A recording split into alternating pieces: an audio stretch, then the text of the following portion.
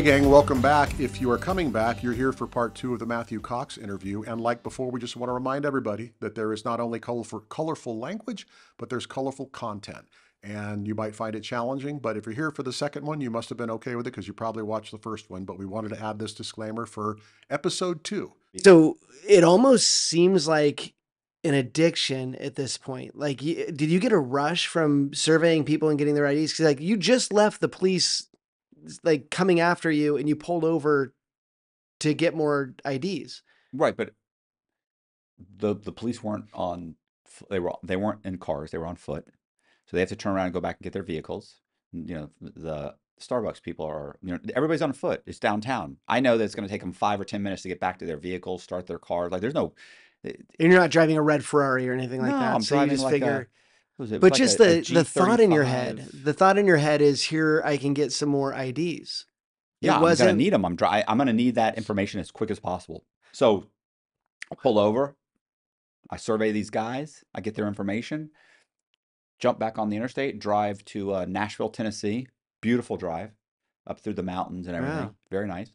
Um, and uh, I go to Nashville. I go to an area of Nashville called um, Green Hills, which is where like all the uh, um, stars and you know country stars Mhm. and stuff they live there. So it's super nice. And as I'm driving through, there was a a guy who was actually just putting his it was it was like a duplex. It was like two townhouses, but it looked like a big house. So putting a house up for sale or and I pulled in and said, "Hey, uh, how much?" And he tells me how much, and I said, "Okay." And I look at the place. I come back and I said, "Listen, I don't." Oh, by that point, by the way, so what I'd done already was as soon as I got there, I went to uh, it used to be something called Kinko's. It's like a Yeah. UPS store. So I pull in there and I get for it was something like 25 bucks you get like 50 cards made. So I had gone and gotten a, a, a phone. So I got a drop phone, you know, a little phone number with a Mhm. phone. And then I I had gotten a UPS. It was actually like a, it was like kind of like Kinko's or mailboxes, etc. But now they're all UPS. Um, so I'd gotten that address, and I had made up a fake company, and I got a I got a uh, business card issued.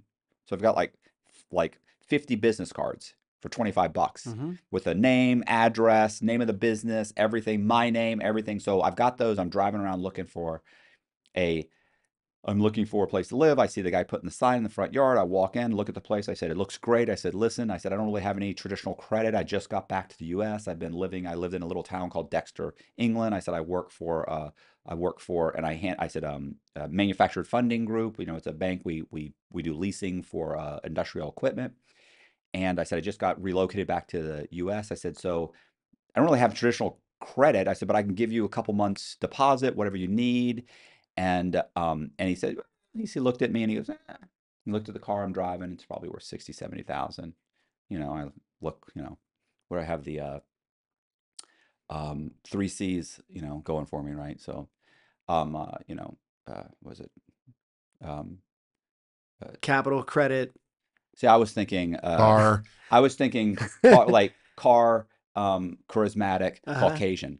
Um, so he Ah. so he looks at me and he goes, eh, he goes, you look like a nice young man. And he, you know, and he said, he said, "I- I'll take the first month's rent and and the depo- and a deposit. I said, okay. And I said, you know, you mind if I pay you in cash? I don't, I don't haven't opened a bank account yet. I have a few. He said, oh, of course. So I give him boom, boom, boom. Gives me the gives me the um uh the key. I go get my electric tur- uh, turned on, my utilities turned on. I go and buy a bed. It's getting delivered the next day. So everything within a day, I'm completely set up. I've got, you know, everything's completely set up. I go and I order the birth certificate. Well, I order the um, I, I print out the um the application for a birth certificate for all these guys. I order all their birth certificates. I order their their um, social security cards. I order. I register to vote in their names. I, all located at this house, and that house or the PO box or the the box I just opened, which is not a PO box, a Mailbox, cetera. mailbox. Yeah.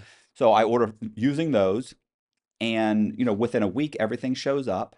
And a few days after that, I go and I get a driver's license uh, in the name, driving a car that's want that they're looking for, in someone else's name.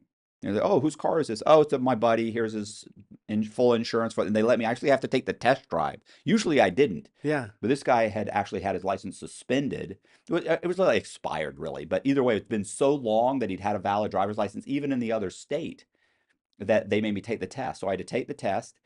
And so once I get his driver's license, I then take the vehicle and I drive all the way back to Charlotte. I leave it in Charlotte long term parking, go and get on a plane, fly back to Nashville because I didn't want the car found in Nashville. Right. Go back to Nashville, go to um, AutoNation, put down 20%, get a loan from AutoNation on like a some SUV. It was like a Pathfinder or something for like 20 grand. Um, actually, I think it was an excursion. Whatever it was, it was a, it was like I mean that's how little like the, the the vehicles or anything I bought like I have no clue what these how much these things Right. were or whatever it was whatever it was an SUV it's decent it was a starter car so I got the car I've ordered their their um credit cards are showing up I turn around I date for about six months and then I go out because I have nothing to do I'm waiting for their their credits to season right like I don't have credit scores for about six months Mhm. so then I turn around and I go into an area called JC Napier, which is kind of like Ybor City, outside, just outside of the downtown area. So they're run down, they're next to the projects, and I go out and I convince one guy to owner finance three properties to me. He's an investor, and so you owner finance them in six months. I'll ref- I'll refinance them and pay you off. And I convince him to allow me to record the sales instead of at 80,000 and 90,000. Let's record the sales at 210, 205, 190. Those are, aren't exact. They're within mm-hmm. a few thousand though. And then this woman's re- renovating her house, trying to sell it for like 15 grand. I get her to sell it to me for 20 grand, but let me record the record the sale at 160. So you're back up and running. I just created f- uh, four comparables in an area of maybe two or three hundred houses. And very quickly, I start buying other houses. Uh, I start buying vacant lots and I start refinancing. Now I'm refinancing the properties. So I refinance the properties and now I've got half a million, a million. I start building new houses. I started dating a girl named Amanda. And uh, we move into a house. Everything's going good. Uh, I date her was about a year and a half for about about about a year. No, I dated her for about a year. I've been there about a year and a half. And you know, we've got 20 some odd houses. We've got a bunch of vacant lots. We're building four new houses.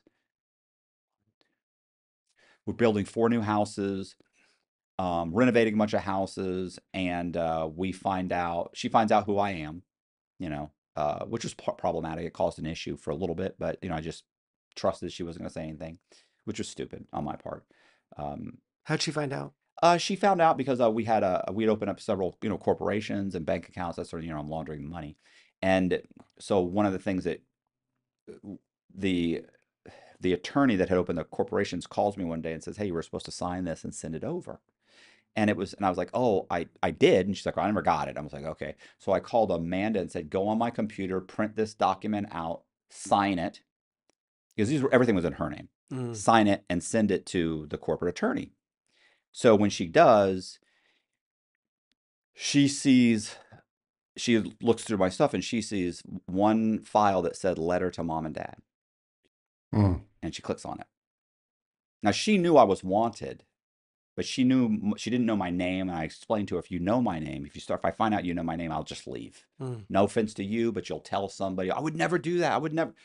So she knows you're a criminal, but doesn't know why or what she knows done. that she knows it's not violent. She okay, knows she knows yeah, it's yeah. white collar. and her parents know something's wrong. Um, they lived in in uh, Jacksonville, and her father or was it her mother? Her father was, I think her father was positive that I was in the witness protection program. You know, uh, which is hilarious, right? Like, yeah. perfect. And I, and the more I said, well, I mean, I, you know, obviously that's not true. You know, and he would just. We okay. Anything else? I'm And like, he's in Florida. yeah, and I'm he's in Jacksonville though. I mean, I wanted out of Tampa. You know, they're they're, the Tampa newspapers aren't so he Yeah. doesn't know. So right. and it it doesn't matter like it, even denying it even slightly, and I didn't deny it, you know, profusely. So it makes them even think it even more. hmm And keep in mind with Amanda, she's like, you don't have everything you have is brand new. You have no photos of your family, no photos of children, Mhm. no photos of anything. You talk about your family, you tell funny jokes and funny this, you never talk to them. So that gets trickles down to her parents. First, her mother says, I'm married. She's a girl on the side. Uh, that turns into he's on the run. No, no, not on. It was never on the run. Was never an issue. It was always um, witness protection super funny. So uh, at some point, she figures it out. doesn't say anything to anybody, and uh, but I'm, everything's in her name. What's on the letter to your mom and dad? I just it was like when I left, I literally like just before I left, I sat down and typed up a letter to my parents saying, "This is what's going on. I'm about to be. They're going to come and arrest me. I don't want to be arrested. I have no interest in spending the next five or ten years in federal prison. Um, I'm going to go on the run. You know, I love you. Wish things had worked out. Wish I'd been a better son. Had you sent that? I sent it. Yeah, I mailed Yeah. it to him. So, uh, she sees the letter, but she doesn't say anything. She doesn't, you know, she's. uh, I, I figure it out when I go to get back on the computer. I go to close everything out, and when you close everything out, it, the last few things pull up, and I see letter to mom and dad. Well, I haven't opened that letter in years. Mm-hmm. You know that I, the last time I opened that letter, I was in Tampa, and it's like, oh shit! I go to the search bar, click. Oh my god! It's just one article after Oh. another after. I mean, wanted posters. I mean, just it's So like. she started searching. You oh, she saw her spent hours was- reading oh articles. my gosh. so it's funny. Like I walk out, like I'm in, I'm stunned, and she's making dinner. Hey, what do you want for such and such? And I'm thinking, you're good. You're good. Wow. Like you you know this and you're saying nothing. And I was like, "What did you do? What do you mean? What did you do?" And she just boom bursts into tears. Like, "Oh my god, I'm so sorry. I didn't mean to. It was an accident." It was that was no accident. But anyway, um she I don't leave. We're still together. Listen, we were together 8 months after that. For 8 or 9 months, she never said anything. So, you know, things are going good, but what we find out is that uh, Dateline is coming out with a special on me. And although I by this point I'd been in like Forbes, uh, sorry, Fortune magazine had done an article on me, you know, like a 6,000 word article. I've been in um, Bloomberg Business Week several times. Uh, that's actually the, the name of my book. It's Shark in the Housing Pool. The Bloomberg had run an article called Sharks in the Housing Pool. Hmm. And then when Becky, the chick Becky that Yeah. I ditched, Yeah. when she got caught, they they said the feds ran, reeled in a great white. Um, So, they got Becky while you were still. yeah, yeah. Like six months before I had been caught, she got caught. hmm Um, so anyway, I uh, so Dateline's coming out, and she, Amanda's seen it. Like she's seen, like she went on a blog. There's all these blogs about how they're interviewing different people, and she's like, "Do you know a guy named Scott Cugno? Do you know this? Do you know that?" I'm like, "Why? What's up?" She's like, "He was just interviewed. Like there, there's a whole blog about all these people that have been interviewed for a one-hour special. They're coming out on you." And I'm like, "Oh shit!" Now you know the barista at Starbucks does not read Fortune magazine, Mhm. right? He's not reading the the Tampa Tribune when they run articles, Mhm. but he will eventually see Dateline. hmm If he doesn't see it when it comes out, he may see it four years later. People will see it. It or a won't go away. commercial for it or Mhm. whatever. It, Yeah. it won't go away. Well, my episode specifically, like, I don't care about a commercial, but something. yeah, yeah, yeah. Like, so- promo piece. some guy you know is gonna go, holy shit, that guy comes in here every Tuesday. hmm You know, oh, I see that guy. Oh, that guy comes in every day and gets this, or hey, that guy, like they're gonna know. And I said, I can't stay here anymore. And so I end up, we end up, we start refinancing properties to pull out money. And so we're trying to pull out money and we we research places that you could go, right? So we figured we could go to Australia. And in Australia at the time, if you came to Australia with like 200,000 and a business plan, they would allow you and you had no no um no record, right? They don't fingerprint you. You just show up with you can go to the local any local sheriff's office and you pay to have your your criminal record pulled. So if I show up and I've got a driver's license in, in the name Walter Holcomb, and a passport is Walter Holcomb, credit cards is Walter Holcomb. I have a um, and my I pull his his arrest record and it's clean. And I've got two hundred thousand dollars and a business plan. They will allow me to stay to live in um, Australia as a permanent resident alien. Now Mm. I cannot work. I cannot take a job as uh, because obviously they want to keep those for Aussies. But you can start a business. I can start a business and I can hire them. So they want you to come Mhm. here, spend your money, open a Yeah, business, yeah. buy property, live here, Pay but you can't- taxes. pay taxes, but you can't, you cannot. And keep in mind, Walter Holcomb it doesn't even live in a shelter. He stays in a tent behind the shelter in a in a forested area. hmm So I'm good. And I'm not showing up with 200 grand. I'm showing up with millions. hmm So we're refinancing property, we're pulling out property. And I mean, we're pulling out money. Um, we've got a few months. We figure we got a few months. We don't really know, but we got a few months. And uh, the quick version is that I'm asking people to cash checks for me.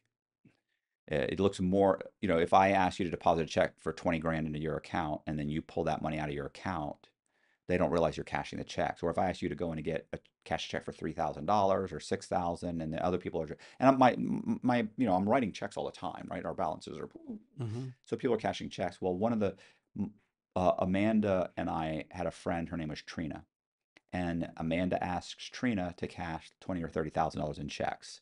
So she writes them out, you know, five thousand, seven thousand, six thousand. Just cash one every couple of days. We have a, mo- and then that sparks a conversation between her and Trina on who who is. My name was Joseph Carter. Who's Carter? You know, it was it was it was actually it was Marion Carter Jr. But it- I went by Carter. So she's like, who's Carter? Uh, and so she tells him like, what's going on? She's like, Carter. His name's not Carter. His name's Matt Cox um, Dateline's coming out. We got to get a bunch of cash out. We're leaving. So one day I coming home and um, I pull up and I get out of my car and suddenly a bunch of uh, SUVs and you know pull up and you know and I'm I just got out of my car. I'm like, what the fuck? Oh my god. and they jump out with their guns and it says Secret Service and they scream, "Get on the ground! Get on the ground!" and they push me on the ground and uh, pick me up and they walk up to me and they handcuff me and of course they walk up and they've got a you know a clipboard and it's got my wanted poster on it right? And they walk up and they're looking at me and looking at the wanted poster. And it's so funny because one of the guys is going that's not him. It's not him bro. Oh it's not him. And the other one the other guys he goes it's him. It's him. Your name's Matthew Cox right Mr. Cox? And I was like yeah. It's a, ah, I'm Matt Cox yeah. And I got to ask. So, what's worked for you all along this process is staying with the story. right Even even when you're at the bank and they're kind of interrogating you, you stay with the story, and now finally you realize Oh, listen, We're like, done. Like 10 Secret Service agents, a helicopter, five or six deputies that are that got that now blocked off the the street. Like they didn't get this wrong. You know what I'm saying? Like Yeah. me saying, But at Even that moment, guy, you don't know why they're there saying yet. It, oh no, when they grab me, like I, I'm almost when they when all that happened, it's secret. Keep in mind, I'm number one on the Secret Service's most wanted list. Secret Right. Service just showed up with their badges and the whole thing. I know it's me. that one Yeah. guy doesn't give you any hope. Like maybe Not even no, even for a second, I, I almost felt like you idiot. You know, like Yeah. come on. Not just that. Keep in mind they've already pulled out. Uh, they've already pulled out a. Here's the thing. I, I was living as Joseph Carter, but I also had documents and other. They pull out a a passport in the name Walter Holcomb. Because you're about to go to Australia. Hmm. Well, and I wasn't going. I really really wasn't going. I had it on me for another reason. Like you Uh-huh. know, it's too complicated. This will drag out forever. If I tell you all the things that are going on, it'll drag out forever. But I just happened to have it Right. on me. And, you know, I'm driving a car as Joseph Carter. My house is Joseph Carter. Like they pull out a, you know what I'm saying? They've already, you know, they've already looked you Yeah. up as Joseph Carter. And now there's a, oh, look, it's a real passport, Walter Holt. Like I'm done. It's, a, I've got a, I got my, Mhm. I've got my, my um, wallet has got multiple different people's information. And Mhm. normally I always had that stuff separated. I would never walk out of the house with anybody's information on me other than one person Right. but the situation just happened to be an issue. There was an issue that had happened, and I happened to have a couple doc different documents on me, and that's it. It's over. What was the feeling? Um, it was you know, everybody always tells you like you know like it was like such a relief. You know, talk talk to guys in, in prison and everything. You know, and you talk to you see these interviews with these guys. Like it was such a relief because I've been living this lie, and I've always been worried, and you know you always hear that, right? And uh, it wasn't a relief. It was fucking horrible because honestly, being on the run was like probably the best up to that part of my life. That was the best part of my life ever. I liked being on the run. Uh, I- What the adrenaline rush? The the adrenaline, high, the, the- adrenaline, the the idea that nobody knows who you are. You are one hundred percent living by your wits, You're in the wind. and you're beating everybody. You're Yeah. winning Oh, every wow. single time. Right. I'm walking through passport control, and they're like, you know, they're like, you know, uh, hi, Mr. Eckert, how are you doing? I'm like, oh, I'm good. You know, you go to the Ritz, and they're calling you by a completely different. You ever been to the Ritz? Yeah. Say the, you know how they they know your name. yeah. They're calling you. Everybody, the whole staff is calling Oh you my someone else the whole time. So you're pulling one over. You're. It you- feels yeah. good to. You walk into the bank and you hand them all fake documents. And they take them, they verify them, you sign some documents, they cut you a check for $250,000 and they thank you for ripping them off. Like there's no better feeling than that in the Mhm. world. You feel euphoric, you feel like James Bond, you feel amazing, you feel untouchable. And so I felt untouchable for three fucking years straight. So when this guy, you know, so it was a horrific, it was a bad day. Well, the adventure's bad day. over. Like you're watching Yeah, this huge adventure that you've been on. You're now not going to have that freedom. Yeah, well, I'm also going to get charged with 26 years, and I'm also going to get charged Yeah. and get a 26 year sentence. So, you know, I'm thinking I'm going to get 10 or 15 years. And the problem was when I got my public defender, she also was telling me, "You're probably going to get 15. We're going to, or we're, we're going to, we're going to," because I had a, a pre-sentence report that came out and said 32 years to life. Now she argued like that's stupid. What, what are you talking about? He one, he can't get a life, and two, um, some of the enhan- she are we argue about the enhancements and you, they say you know like he owes 9.5 million i'm saying you can't justify that you don't have the doc you know so we are arguing about it. this is Mhm. months later we argue about the psi we get it down to 26 years 26 years and four months What year is this?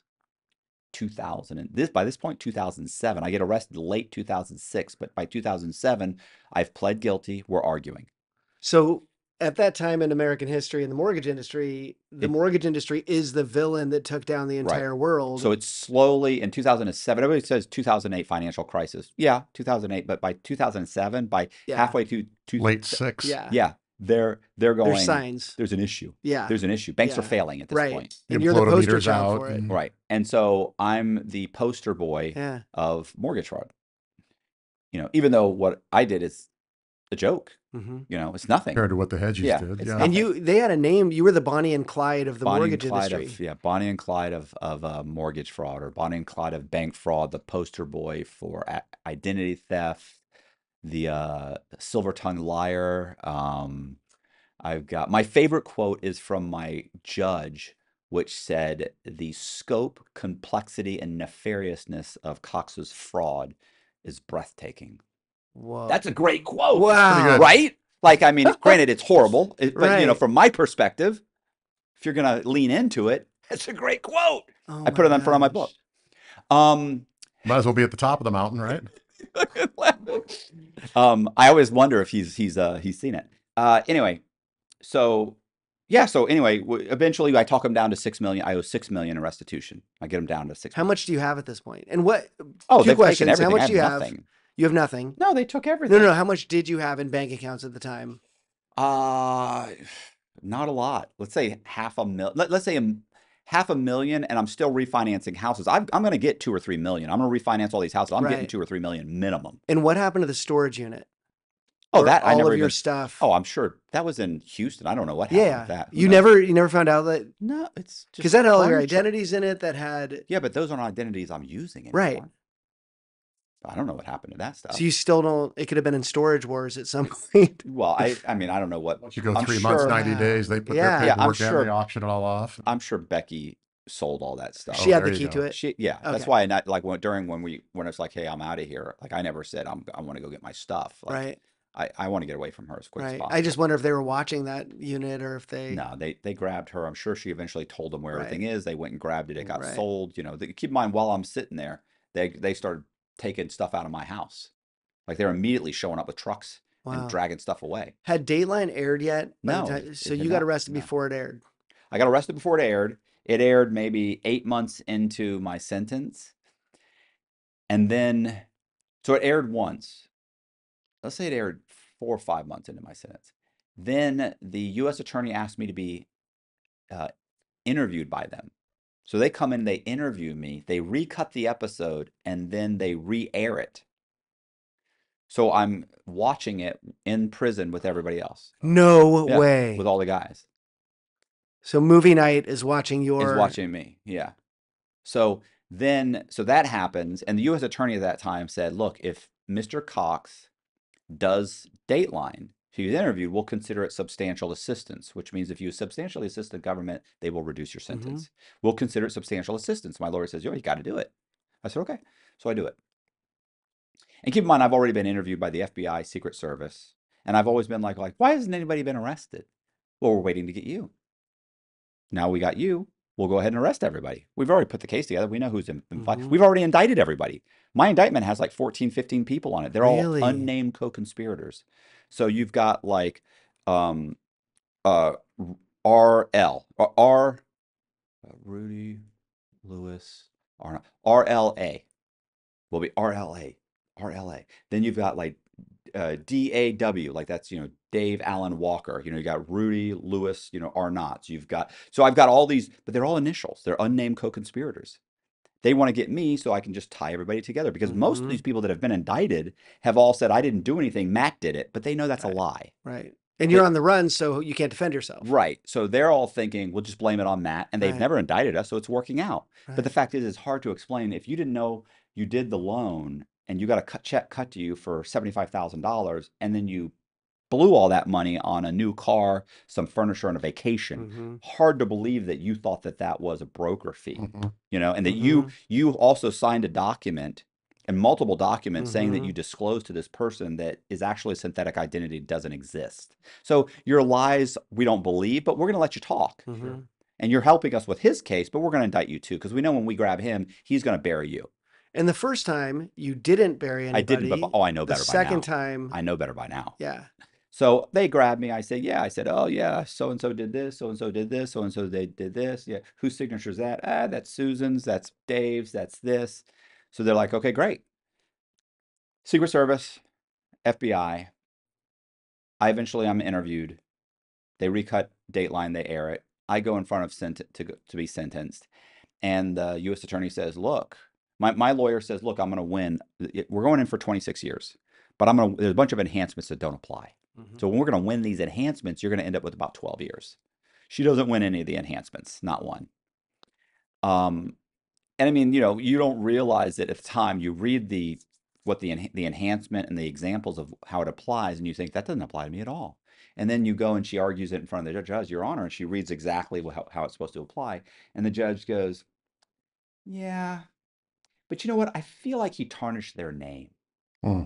So one of the enhancements, I'll give you this, is um, if you go, if you pretend to be the Cancer Society and you go and you go to people's house and knock on the door and say, I'm borrowing Yeah. on behalf of the Cancer Society, and they give you money, your fraud is one, of course, you're defrauding people, Right. but two, you're using the you're using the Cancer Society to furtherance of your crime. Mhm. I, I didn't borrow any money from from I didn't do anything like that. What they're saying, what they were saying was, I said I worked for the Salvation Army, and that got these people. Mm. So the whole thing is that you're saying the Cancer Society they wouldn't have given you money if you just made they you use a Right. Credible organization. now. I could have gone up and said I work for Billy Bob, Right. and we're just taking surveys. Here's twenty bucks. They would have said absolutely, but I didn't. I said Salvation Army, and I didn't steal money from them. I gave them money. Mhm. So the judge went, I feel he tarnished their name. I'm going to let it that stand, that stand. Well, every time he did that, I'm supposed to get, you know, five years off. I don't. Next one, I'm supposed to get four years or three years off. I don't. Next one, I'm supposed to get two years off. I don't. So it keeps adding and add before you know it, it's 26 years and four months, exactly what they they asked for. Wow. So the judge says that. So my lawyer doesn't. She's you know was unable to uh, sway him. And uh, the other thing was I'm supposed to get a sentence reduction because I've one cooperated, and two I was interviewed by Dateline. But the Mhm. U.S. attorney decides at the last minute. She says, "Yeah, that's not enough." Now, granted, he cooperated, but nobody's been arrested yet. Now, that's not my fault. Right. Um, They and- didn't like you. no. And we were not, and yeah, he was interviewed by Dateline, but that's not enough to reduce his sentence. But you said it was. Yeah, I know, but it's not enough. We'll wait. They said, Your Honor, we expect multiple sentence reductions in the future. But for right now, it's 26 years. And he said, Okay, 26 years. So, first of all, she should, she's not allowed to say that. There- there- There's all kinds of improprieties Mhm. that, that, that, she, she said that they just went along with. Not that if I even went back and did anything that that judge would have said, the judge would have said, ah, that didn't really sway me. hmm But technically, you can't suggest that I'm coming back for a reduction. You're not allowed to do that. You're not allowed to even Theorize. that, theorize, because he Mhm. could, he does take that into consideration, and I know he does because later, when I didn't get a sentence reduction, he told my lawyer, I expected, I thought this guy was coming back for a couple sentence reductions. What happened? So, Wow. um, So you're you're you get arrested, you get booked in county first, uh, and then you get sentenced. In the sentencing, at what point do you talk to your parents?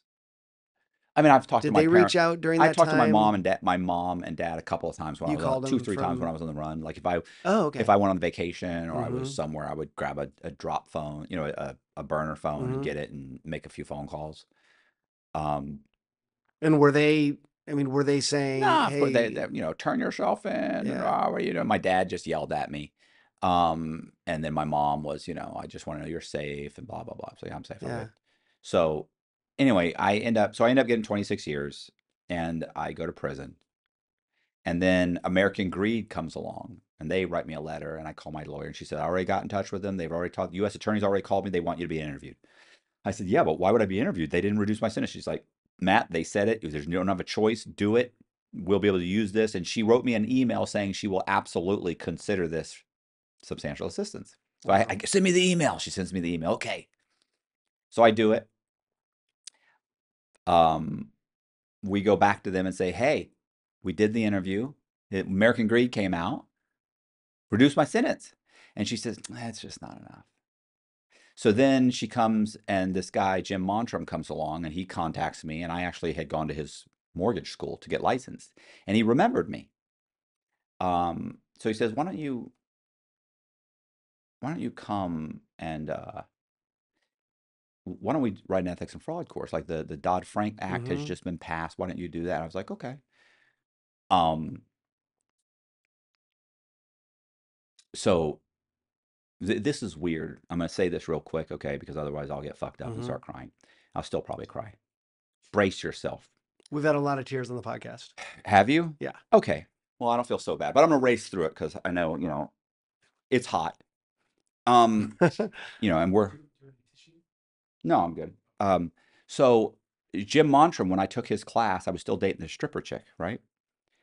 Um, so he's we go across. So you know, it's it's whatever. It's so many hours. You know, you take it. So the Mhm. first day you we take the hours. The next day you go and you you've you've got an hour long, hour and a half to go eat. So you know you're in class. You go like we go next door, Rusty Pelican or something, right? And we're eating, and there's several people there from the class eating, and Jim Montrum's sitting by himself. And I went, "That's the teacher." And she goes, my girlfriend goes, "I know." And I went, ah, he's eating by himself. She goes, I know. She goes, yeah. And I go, let's go sit with him. She goes, why? I said, I feel bad. And she's, and I'm not, I don't feel bad, bro. hmm I don't feel bad. Right. So I'm not interested in, so it was extremely out of character me for me to feel bad that you're eating alone. And she goes, I, I don't want to eat with the fucking guy. She goes, she goes, nobody wants to eat with the teacher. I said, I know. I bet nobody ever eats with him. I go, come on, let's go eat with him. I get up and grind. She's like, ah, shit. Like this dude's already leaving. So we get up, we go and sit down. I said, hey, can I sit with you? He goes, sure. He said, you're in the class, right? I'm like, yeah. I said, what's going on? He said, ah. He said, nothing. Um, what's up? I said, do you mind if we eat with you? He said, no, ah, that's great. I would appreciate that. That's great. He goes, nobody ever eats with me. He's, I've been doing this 15 years. Nobody's ever ate with me. Kind of like laughing about it. I'm like, right, so God. I said, yeah. I said, he said, yeah, absolutely. So what do you do for a living? Oh, you know, I'm putting wood floors and, you know, windows and, you know, and so we have this little chit chat. We talk and we ate, we ate with him. And then I end up taking the class. We take the class, everything. And he remembers me. He always remembered me. hmm I'm, I'm this nice guy that ate with him. Yeah. So Jim Montrum is watches uh, watches American Greed, and he goes, "Holy shit! Wait a minute! That guy took my class. I knew it. I ate with him." He sends me a letter. What? Can you come? Dodd Frank Act just spent, just went through, and I have to write a three-hour course on ethics and fraud. I would love to write it with you. He said, You're the only person I know that is basically, and there's like 14 different basic scams, right, for real estate. hmm He's, You're the only person I know that's hit every single scam out there. Mhm. The only person I know that was a, you were a licensed mortgage broker, licensed brokerage business, FHA, VA, conventional. You know, he's like, You're perfect for this. And you have a huge case. People will remember you. I said, Okay. So he flies out. I th- actually I think he drove. Uh, went to Atlanta, meets with my attorney and the U.S. attorney, and she says he does this. Mr. Cox does this, and I will absolutely reduce the sentence. I will consider this substantial assistance. Okay. He comes to the jail several times. I write all these art. I write all this stuff. It's like nine thousand five hundred words. Write this whole course. He starts using the course. People are calling my ex-wife saying, "Oh my God, I just took my continuing education course. Matt's teaching it. It's all about your ex-husband." So you know, um, we send a whole package to the U.S. attorney, and she says, "It's just not enough. Just not enough."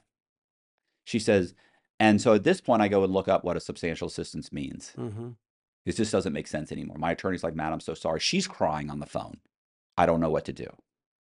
She actually was stopped by the judge at one point. He calls her into his chambers. He goes, "Millie, can I talk to you in chambers?" She goes, "Sure."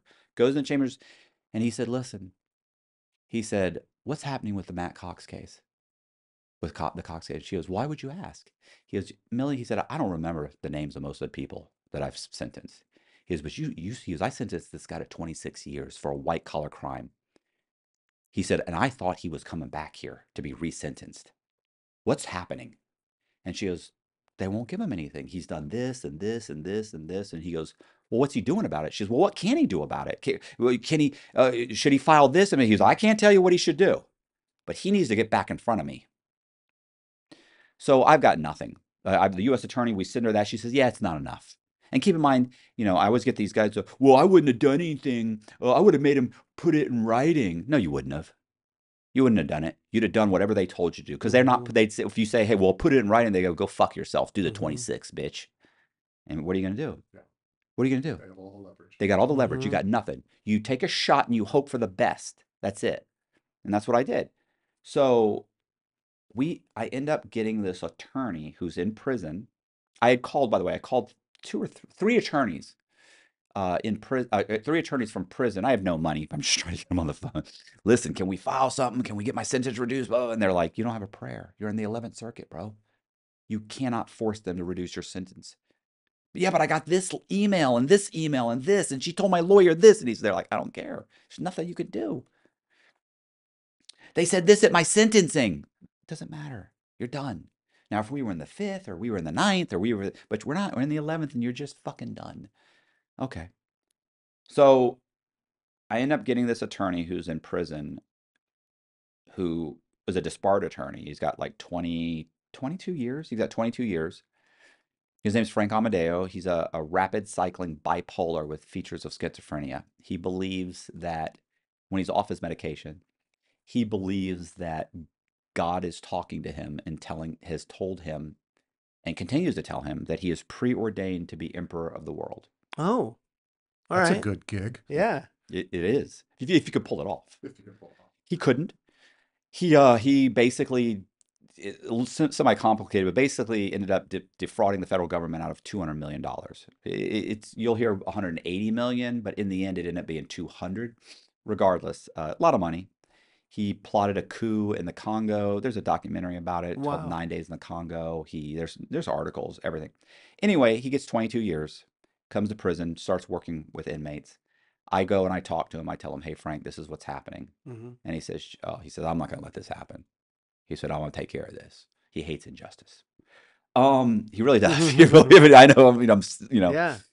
um, and he says, they asked you to do this ethic and fraud course. They asked you to do that. Like, you gave them, you cooperated, but they never. Keep in mind, the FBI's come to see me like five or six times since I've been in prison to try and Mhm. put these cases together. Mhm. And she finally, the uh, FBI agent that was going to put the cases together goes to the U.S. attorney and says, "Look, I got viable cases," and he says, "It's too old.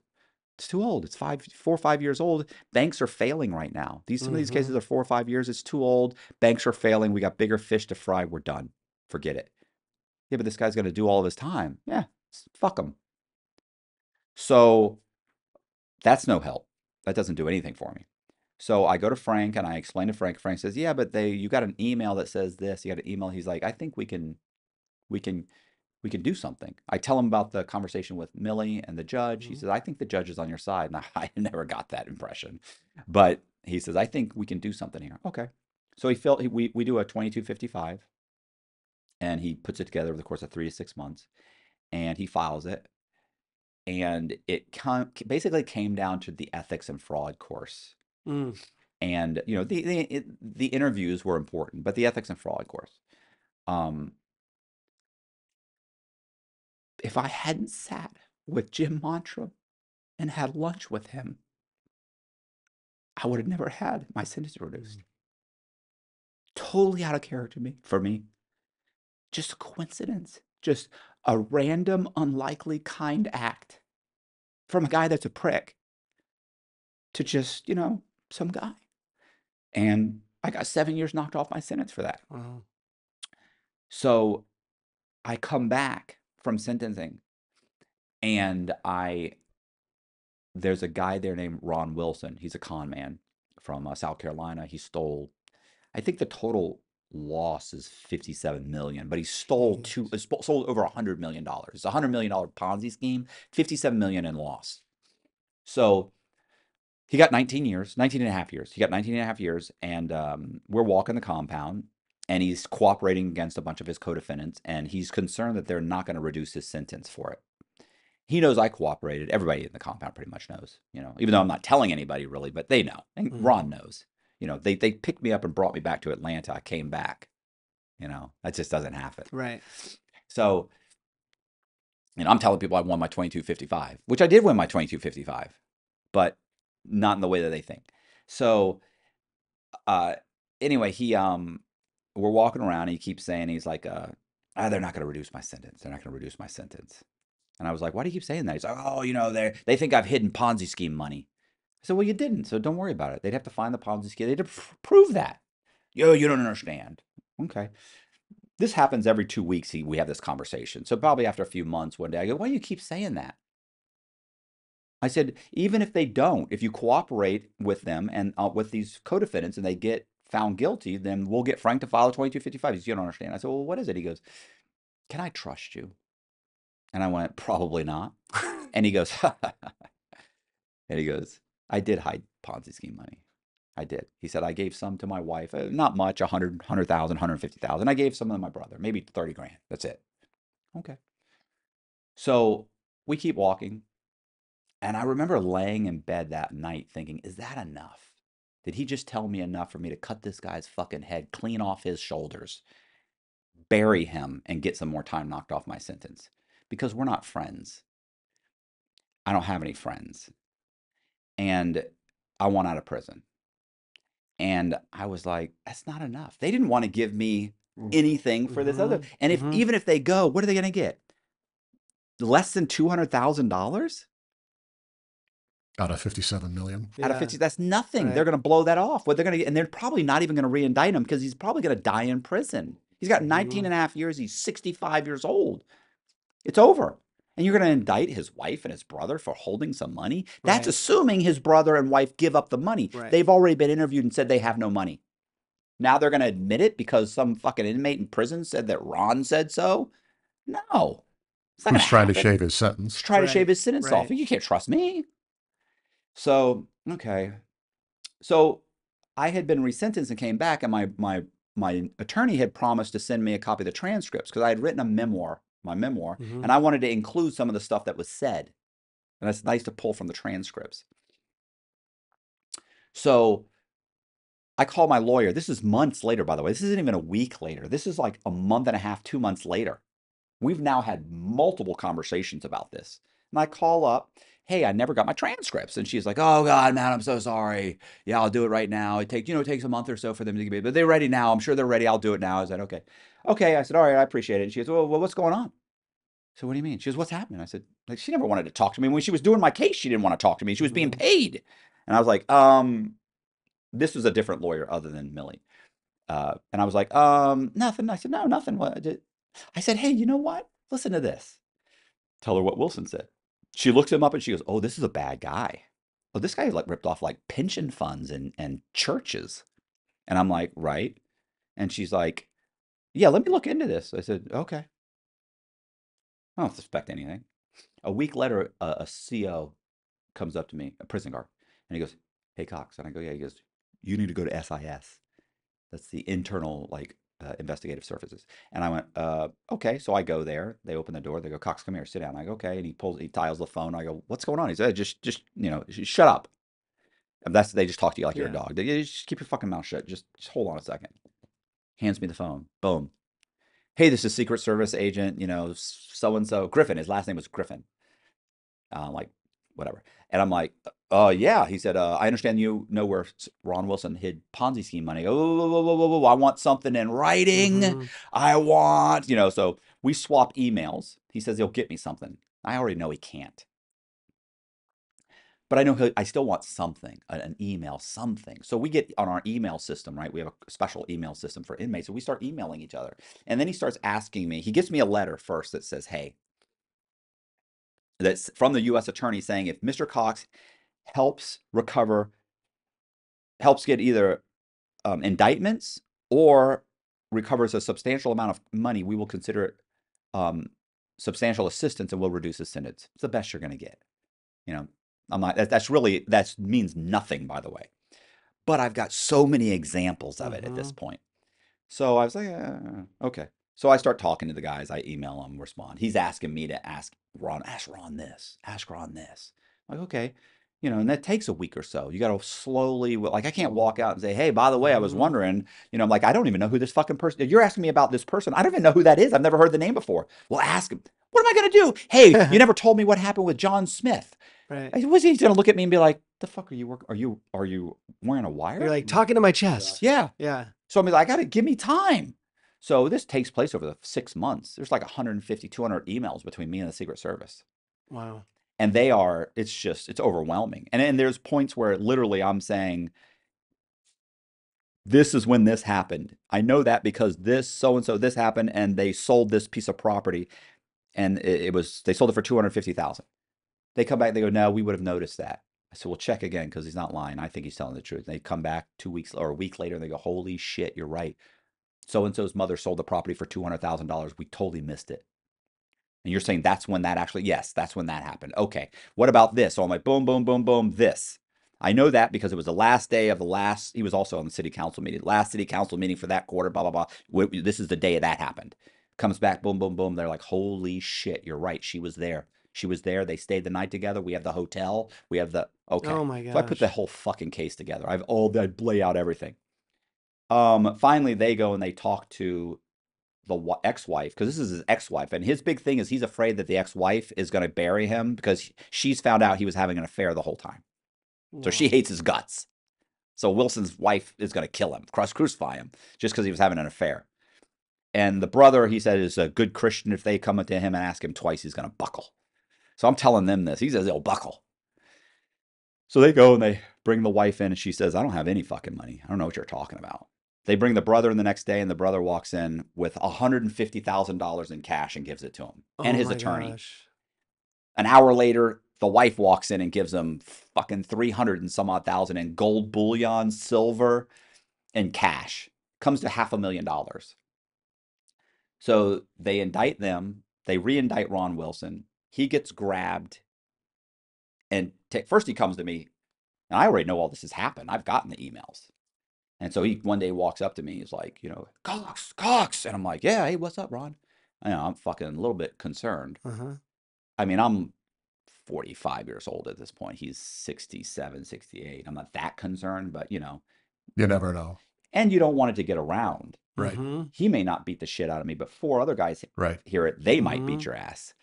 So he's like, Cox, Cox. And I'm like, yeah, what's up? And he's walking towards me. And I'm, I mean, I'm thinking, fuck, if he swings, like, what, what, you know, like, I'm ready. He's an old man, but I still don't want to get punched. And he Mhm. goes, You're not going to believe this. And I go, I go, What? He said, They indicted my wife and my brother, and they just got re indicted. I go, Why? And he says, Because, oh, they- because they found the Ponzi scheme money. I said, Where? And he goes, Yeah, they, they recovered half a million dollars in Ponzi scheme money. They talked to my wife and my brother, and they, they gave it up. I go, Half a million? I said, Thought you said it was like a hundred thousand. He's like, Ah. I didn't know if I could. I, I lied. I, I didn't tell you the right amount. I didn't know if I could trust you. And I was like, I go, Ron, Oh my god. my. God, can't trust me. So I'm offended. So he tells me what's happened. He says he's going back to court. He goes back to court. They give him an additional six months Whoa. for 19 and a half years to 20. His wife gets probation and I like 50 hours community service. So does the, the brother get something very similar. She gets a little bit more because she lied the first time. Mm. Brother walked in, boom, here. Um, and uh, I know that's not enough. It's not enough.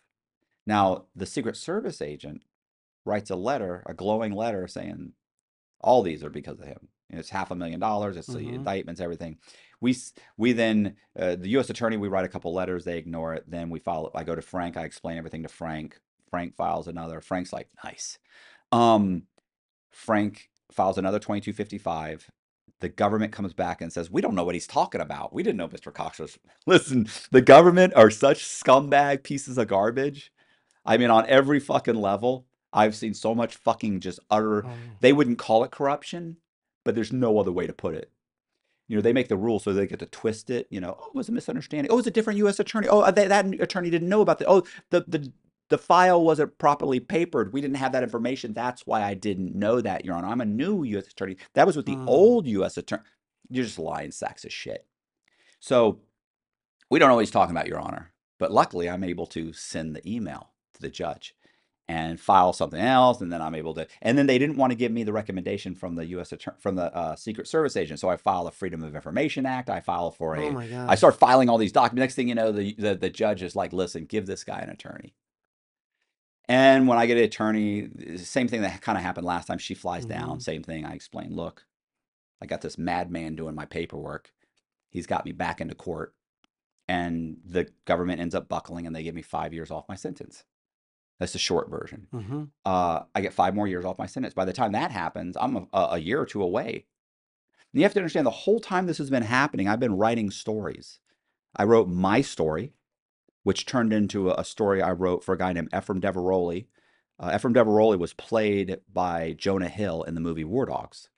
Oh yeah. So, so, Eph- so Efraim Diveroli, I wrote his memoir from inside prison. I've got a couple of guys into Rolling Stone magazine. I got a book deal for that.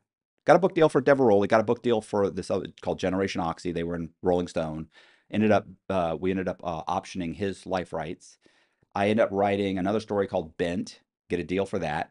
End up getting. I mean, I, I end up writing books, and then I start just writing synopses of stories because I figure when I get out, I'll start a podcast or something. Mhm. You know, I'll do something. I don't really know what a podcast is because there was no such thing as a podcast when I first got arrested.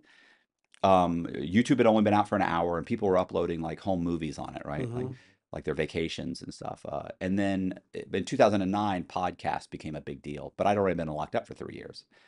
So just as I'm getting out of prison, guys are coming up to me going, "When you get out, you got to do a podcast." I'm like, "Well, I don't understand. What is that?" And they're trying to explain it to me. It's kind of like a radio show. It's like TV, but it's not.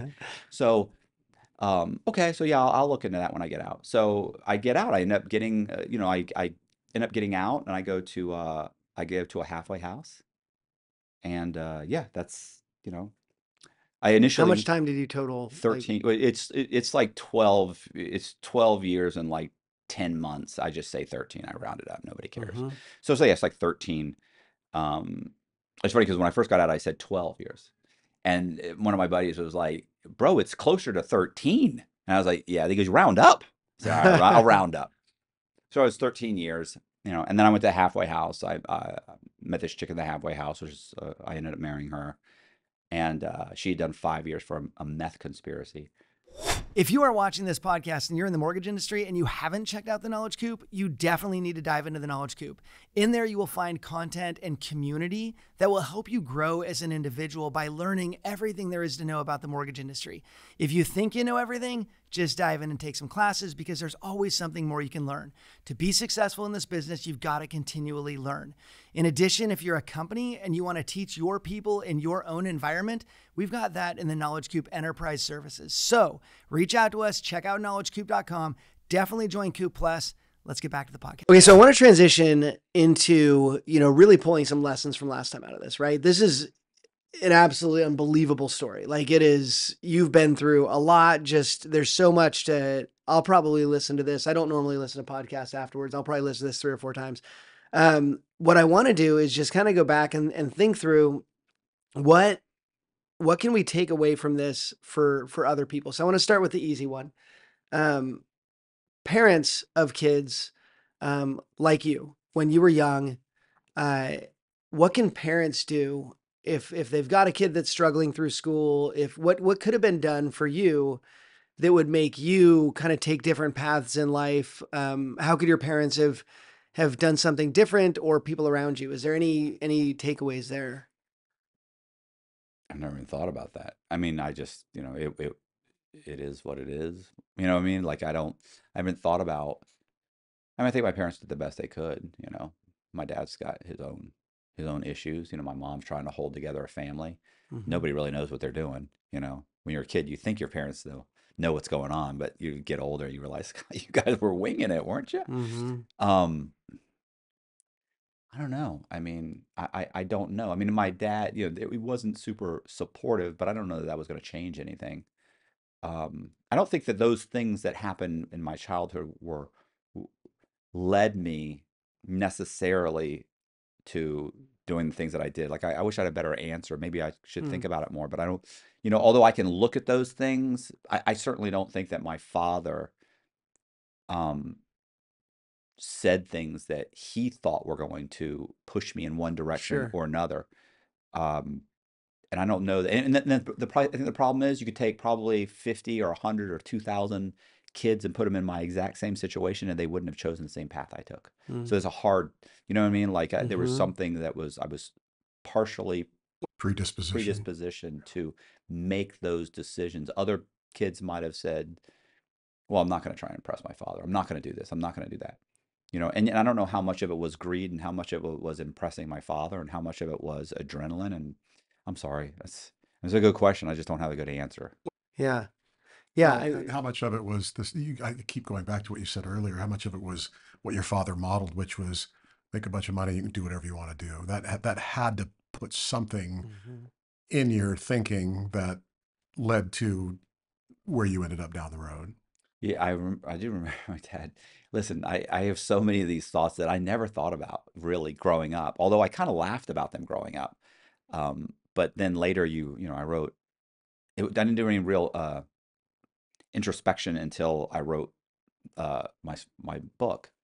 And then you read you read books about how to write books. And they say, you know, you have to focus and look for these types of things. And so I never did that until I read several books on how to write a memoir. And uh, I just remember one time there was, um, and I've I've said this before, but it's it to me. I look at it and I think, wow, this is like that was is interesting. Um, we were driving. My dad had a brand new BMW, and we were going to do like our father son thing was. Um, uh, it was like going to the movies, and most times he would just drop me off at the me, me, movie and leave, come back four hours later or something, you know, say, "I'll be back here at four, you know, don't tell your mother. Um, give me a twenty dollar bill or something, which was like a lot of money. That's like giving your kid a Mhm. hundred bucks an hour go, to go to the movies. Mhm. So we're driving, and I'm probably, I don't know what I was, nine, ten, something like that. We're driving my dad's new BMW, and I have a little Izod shirt on. My dad's in his suit and tie, and we're driving. And I remember looking over at this car next to us, and it was like a beat up Chevy Nova, rusted out. And I remember there were a bunch of kids in the back of the car. You know, they're like, and they're looking at us at like a stoplight. You know, their dirty little faces pushed up against the thing. And I just remember looking over at them and being, you know, instinctively being embarrassed. Because I could tell they were Mm. poor. They had Mhm. nothing. They certainly weren't about to go spend the day at the movies, um, which I thought was great. Uh, and I remember being embarrassed and kind of looking down. And my dad looks over at me and he looks over at the kids. And I remember he looked back at me and he said, I wonder what the poor are doing today. And then he just started laughing. And I kind of started laughing. I was like, like, oh my God. And I just, you know, and then we drove off. I remember too, he would, he'd, you know, be smoking a cigarette and he would blow smoke rings at my face, you know, not thinking it like now people would be offended. And it was, you know, it was funny Mhm. to me back then. And it was funny to him. It was funny to everybody because they didn't think it was that big of a deal. Um, and I just, you know, I remember thinking like later on, I don't know that I thought that maybe at the moment, but I remember thinking that, you know, no matter what, it was always better to be driving the BMW than it was to be sitting in that Chevy Nova. You Mm. know, that I mean, I, I just knew that I just did not want to be in those kids' position. You know, they were mocked and, you know, it was, and they were not spending the day, like I said, watching, going to the movies and eating popcorn Mhm. and getting a hot dog and drinking Coke and watching Star Wars. So and well, it probably was Star Wars, or it probably was 10 or 11 actually. Uh, yeah, but I mean, there's so many things. I remember one time I was worried. We were talking about me doing like what I was going to do when I got older. Like I was like, what am I going to do? And he goes, eh. He said, you'll be all right. You're, you'll be able to make money doing something. He said, you, you'll you'll be able to make money. You can always be a salesman. And I remember thinking, like, I don't know that I can be a salesman. Why does he think I could be a salesman? And I remember asked him, I said, well, how do you know I'll be a good salesman or something along those lines? And he said, you know, he said, the secret to sales is sincerity. If you could fake that, you've got it made. He said, he, was in, he said, and you've got that in spades. And I just thought, I didn't really even know what he meant. If you can fake sincerity, you've got it Sincerity. made. Oh my gosh. I mean, I, you know, I think you're accidentally giving us some answers to I- what could your Yeah. parents have done differently. Because these are things like the value was on money, the value was on looking or being successful. Well, you know, the other thing he is just funny too. So my siblings, if we wanted something, they would ask me to go ask my dad. So for one thing, because uh, I got very good at it, because I, I remember like one time I went in to go ask my parents for something. Oh, a leather jacket. I live in Florida. It's a hundred on sale. a Really useful jacket. item, 100, yeah. 150 bucks for a leather jacket. Okay. Stupid, right? Like this is 25 years ago. And so I go in, I said, Dad, I said, you know, all my friends at school, they have leather jackets. And, then and I'm telling him, I'm all excited about it. And he goes, huh.